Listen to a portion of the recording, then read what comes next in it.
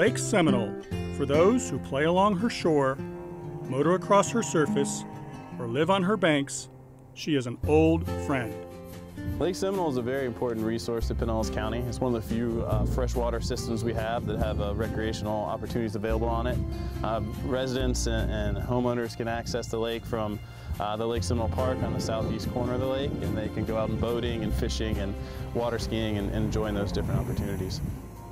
And yet, Pinellas County's second largest freshwater lake has suffered water quality challenges almost since it was created in 1949. The land that was flooded to make the lake contained centuries of nutrient rich sediment that fed algae. Then, in the 1970s, the Lake Seminole Bypass Canal was created to control flooding. Unfortunately, that also reduced water flow into the lake, making the water quality worse. By the late 1980s, the conditions were so poor that Pinellas County and its partners set out to reverse the trend. Through time, the Lake Seminole Watershed Management Plan was developed. Later, a reasonable assurance plan was adopted by the state with the overarching goal of achieving water quality standards. The watershed management plan for Lake Seminole was developed in 2004 and the goal was to identify best management practices to restore the lake's water quality uh, and, and, uses of the lake. So we had uh, quite a few goals uh, out of that watershed management plan, one of them uh, being the Lake Seminole Dredge Project, which uh, we're about to start here. From 2019 to 2023, the Lake Seminole Dredging Project will remove an estimated 900,000 cubic yards of organic sediment, ridding the lake of 416 tons of nitrogen and 77 tons of phosphorus. Funding for the $19 million project comes from the Penny for Pinellas, the Southwest Florida Water Management District, a legislative appropriation, and the Restore Act. Residents will still be able to use the lake but are being advised to stay clear of the dredging equipment. End result will be cleaner lake water, cleaner lake bottom, more fish, uh, less invasive plants, more native plants, and uh, overall just a more aesthetically pleasing lake. Rather than truck the sediment to an off-site location, the county has chosen a far more cost-effective approach. We will establish a dredge material management area on county-owned land between Lake Seminole Park and the Cross Bayou Little League baseball fields.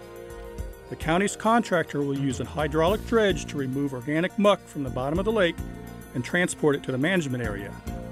There, it will be dewatered and clean water will be returned to the lake. This is the actual cutter head of the dredge. This is going to spin around, it's going to agitate the sediments, and then just like a vacuum cleaner and the roller system of the vacuum, it's going to agitate all the dirt and the fines, and it's going to go up through this volute, up the ladder to the pump, and through the temporary pipeline to the dredge material management area for settling and cleaning. The sediment will eventually form a 15 foot high berm that will be topped with sand and be made available for new uses. Some of the ideas that have been floating around are, are using it as soccer, baseball fields, or using it as re passive recreational trails uh, as an extension of the Lake Seminole Park trails that are already there. For homeowners who live on the lake or one of its coves, like Jim Gill, the start of the dredging project is an exciting development. The county's been pretty good about holding meetings periodically, and uh, I know myself and a few others have, have been very involved in attending the meetings and kind of setting some direction, you know, what limited direction we can give them. If you look at the lake, we've got several people on the lake that ski professionally. Uh, a lot of people boat on the lake, fish on the lake.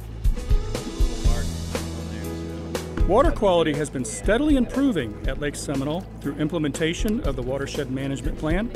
Most notably, four alum systems have been constructed to capture stormwater before it enters the lake and treat it with aluminum sulfate.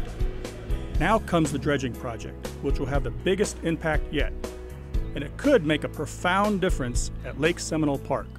Lake Seminole Park is a hugely popular park. We're seeing over a few hundred thousand people a year uh, in visitation. We benefit from long shoreline uh, along the lake, and of course there's the boat ramp, so the, the, the lake is a, a, prominent feature, large attraction for the park.